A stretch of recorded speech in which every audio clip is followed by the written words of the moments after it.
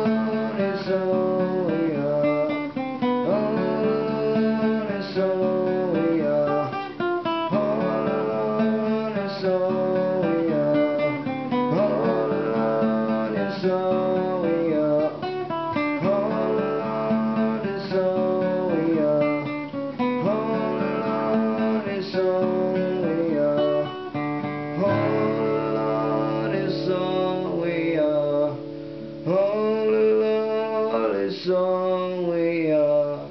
Uh, that was all.